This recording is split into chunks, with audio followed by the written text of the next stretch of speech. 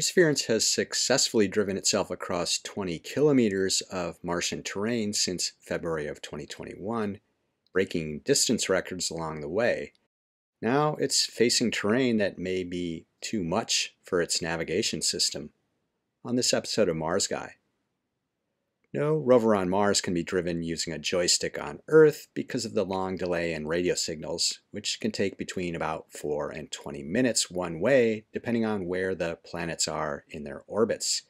So they use onboard navigation systems to drive autonomously.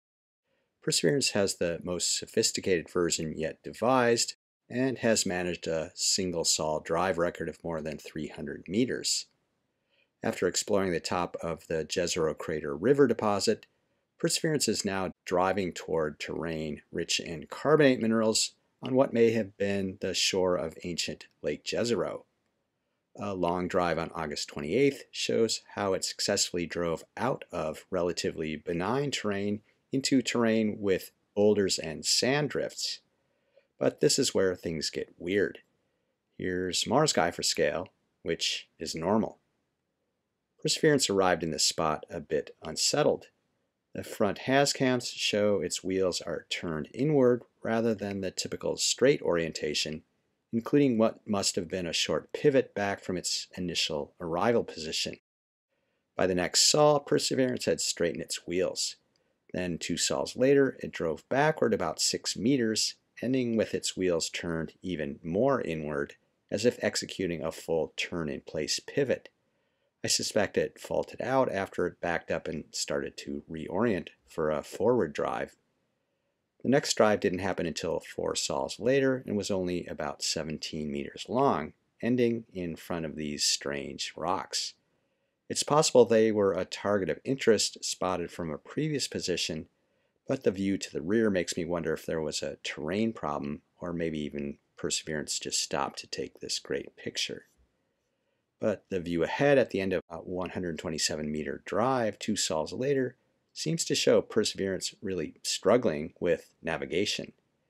There are wheel tracks, as in, it's already been here before. The view from the nav cam shows that Perseverance was on track to run into this big sand drift, but decided it was a hazard, then pivoted 90 degrees and drove away. The view from orbit showing the reconstructed path tells the rest of the story.